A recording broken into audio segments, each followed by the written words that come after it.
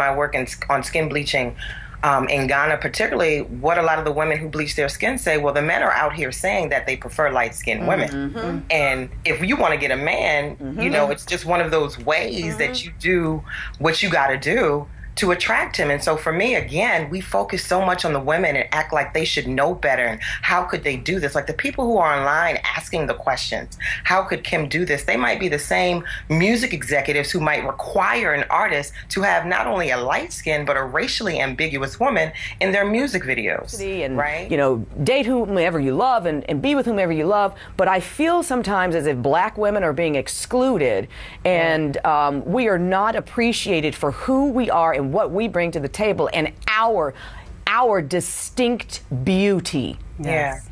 Yeah, and I, and I agree with you, and I think that's why it's so important for us to, you know, I, I, I try to go bigger and deeper than to just love yourself because mm-hmm. the question is always, what does that look like right. and how? So for me, you know, it's why I do the work that I do in terms of trying to put images out, um, beautiful images out of ourselves so that we can see ourselves reflective because I think if there's anything for us to learn from Kim. Also as women it's that no matter what amount of changing you do like you can change the exterior but how do you feel inside? That still reflects. We're seeing pain yes we are. right. doctor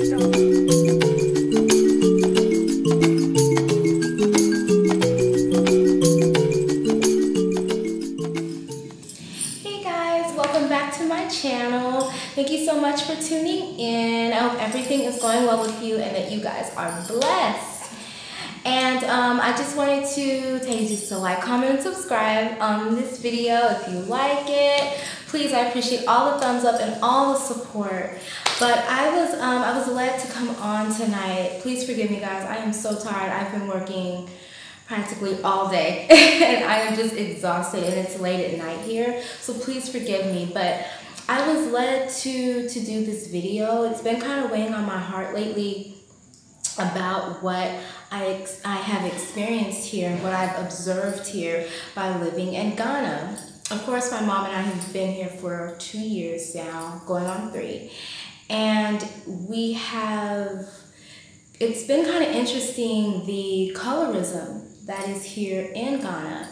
Um, I feel that it is something that needs to be talked about. I mean, it's discussed, but this is going to be just my first part. I'm going to get into other parts with the subject matter because I feel that this subject matter needs a lot of attention. Of course, we have our, our colorism as well, um, coming from the West. I would probably say this is a, a problem that we deal with of being black people all over the world, you know, due to slavery, due to colonization, due to kind of the, the power structure that is here on this world, it, um, it affects your psyche and how we have felt about ourselves as black people. So, um, I'm sorry if I'm rambling on, but um, this is a very very important subject matter. So this is going to be several parts. So please tune in, guys, for that. But um, I will say it all started with us moving here and the term of um, being called Oburoni. Of course, here in Ghana, that's a very popular term that a lot of Ghanaians use to um, talk about or to um, to describe people from the West um, and people, black people from the West, they call us Oburoni, and especially it's it's a term referred to as being called a white person. And if you're light, like like me, um, they really call you Oburoni, even more than my mother. Um, they call her Oburoni too because of the way that she speaks, being from America, but they really call me Oburoni. And being here, they refer to me as a white woman and I it took a while for me to get used to that because I I don't want to be associated with being called a white woman because I'm not a white woman. I'm very proud of who I am as a strong black female. My mother has raised me that way. So it was something that was very uh, that I had to get used to and kind of the skin color thing here is very interesting. It's far far different from um, being a person from the West, from America, they uh, they view a lighter skinned black person as as white and kind of like their skin color when it comes to being i guess like a milk chocolate or a darker skinned person. It's a totally different thing here and um, like my mother i would refer to i would see her as a like in the states she would be considered kind of going towards a darker skinned woman here she would not be considered that way she would maybe be considered like a, a chocolate which is going towards light skin because the people here are very, very dark. And I would have to say, I've seen the most beautiful people since I have been here. I mean, so much rich colors. We really have to appreciate, guys, how to learn how to appreciate our melanin and what the Most High has given to us. I mean, it is just it is remarkable and it goes toward it goes past skin color guys it goes way past that there's a whole scientific um, mechanism of what we have called melanin, and really it's carbon. For really, for really the scientific property, it's called carbon, and we don't realize it. And the people here do not realize it. They view um, white people or Asian people or Middle Eastern people as almost like gods, even just by observing the interactions of Caucasian people and, and Asian people and other people here with um, and the Ghanaians who respond to that, they are just like that's what they aspire to be. So when they look at somebody white or somebody such as myself, they it's almost like they that's something that they aspire to be, which is is really sad to me. And so being called that, it really took a while for me to use to. And of course, Ghanaians don't mean anything harm. It's actually, in their eyes, a compliment. But coming from the West, I didn't view it as that. And I just viewed it as like, you know, why are you referring to me that way? I'm black just like you are. I just happen to be lighter skinned. I have two black parents, y'all. I am not biracial or anything. We come in all different types of hues. We come in all different types of colors. So that had that has absolutely nothing to do with it. You know, so I um so being here, I've really seen how kind of like the self-hatred that they have when it comes to their physical appearance. And um and I think this is not just a Ghanaian issue. This is an issue that is quite prevalent on this continent. And you know, when it comes to like skin bleaching and and weaves and, and all this stuff, which I'm getting into in future videos. And really we need to really look at the psychological problems. I mean, there are women and people that are in their graves from the skin bleaching skin bleaching and, and doing type of self modifications to yourself to look white. I also know this is very prevalent in Jamaica as well. So um, this is something that is is a scar that's very painful that we really need to to pay attention to. But um, but being here, kind of um, the treatment that I receive by being a lighter skinned person. Uh, is, you know, I appreciate people being nice to me, but I it's a little uncomfortable. It's a psychological programming that is so prevalent here. And even when it comes to billboards and um, and it's like all you see is just like a lot of billboards are lighter skinned women or darker skinned men with lighter skinned women. So i mean what's the what's the message that is going out there? Oh, okay well for men you want a lighter skinned sister. Or and for darker skinned women oh they think that that is you know the ultimate. That's what you want to be. And um i just i just find it very disturbing you know, and the way that they view kind of Caucasian people compared to themselves. Shortly after we got here, we met a, we were in a cab. We met a cab driver, older older Ghanaian gentleman. His name was George, and I was in the car with my mother and another neighbor of ours at the time, Kiera, and she's from the um, she's from the states as well. And um, we, for somehow, we got off into talking about this whole Oburoni type of thing, and he was like, he was saying you should be you should want to be called that. And we were like why?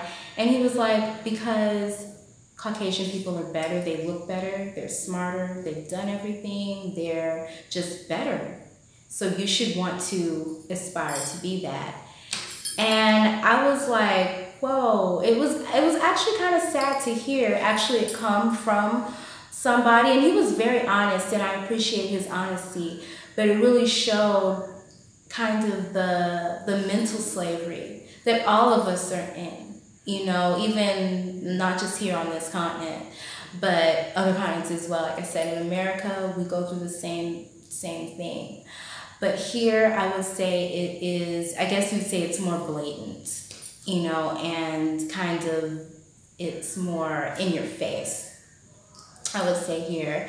So that's a really interesting thing about being here in Ghana because I would have never have guessed this before I, I moved here. I really thought that they were really comfortable in their own skin. You know what I mean? And being, you know, um, being a, a proud Ghanaian, a proud African, because in America, you're in like a melting pot. You're around all different kinds of people. So, you know, we're used to different looking people and you know we're so mixed up in the states and it's a it's a melting pot but here it's not quite like that. But to see that they have been affected by um, by the media because it's really the media and the imagery so much on this on this continent it really it, it was very really shocking to me.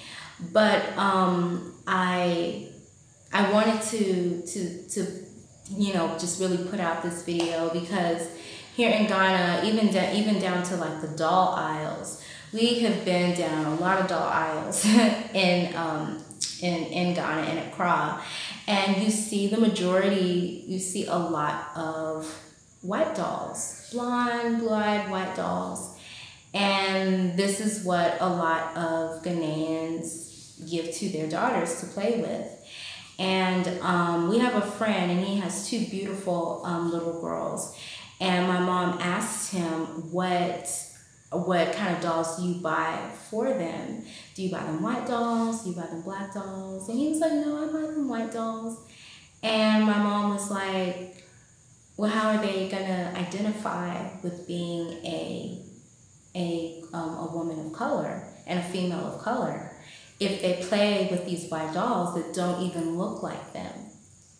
And it was it was kind of interesting because he didn't even look at it that way. He really didn't and what my mom told him was really food for thought. He was like i did not i didn't even realize it till you mentioned it. And from now on he's saying i'm to buy my little girls black dolls. And that really warmed my heart. It really did. It warmed my heart so much. I was like that's that's right. That's what you're supposed to give them to play with. That gives them a sense of identity. And I have to say, these Nana dolls, they are so adorable. If I had a little girl, I would so buy them for her. These new dolls have come out here in Ghana and they are they're called Nana dolls and their hair they have like natural hair. Their clothes are so cute. They have like you know Ghanaian African clothes. And they're so stylish. They're so sassy. I love them. They're just really really cute. And I think the artist Fuse ODG. I hope I'm pronouncing his name correctly. I'm not I'm not quite sure, but I love the the work that he has done because I think that that is a doll line that he is behind. And um, so that is amazing what he has done to give um, girls here kind of like a, a sense of identity. I mean, you're here in Ghana, you're in a in an African country, they don't need to be playing with a whole lot of white dolls. They need to play with dolls that they can identify with as a black female. So that'll give them a sense of identity. So, I mean, these dolls are so cute. If I had a little girl, I would, she'd be playing with those dolls. They are, they are really, really cute. So, um, so yeah, but I, I hope I'm not rambling or anything, but I, I wanted to just, to just get this off of my chest and to you know tell my my brothers and sisters on this continent be comfortable in who you are be comfortable in your own skin. And don't let the media make you feel bad or you know whomever to make you feel bad about who you are.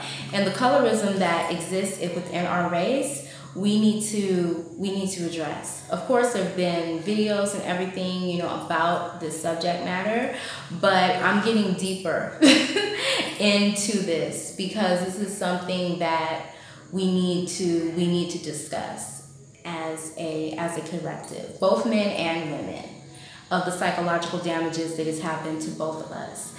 So, so thank you. Thank you so much. Again, please like, comment, and subscribe if you like this video. Be blessed. God bless you. And I will see you guys in the next video.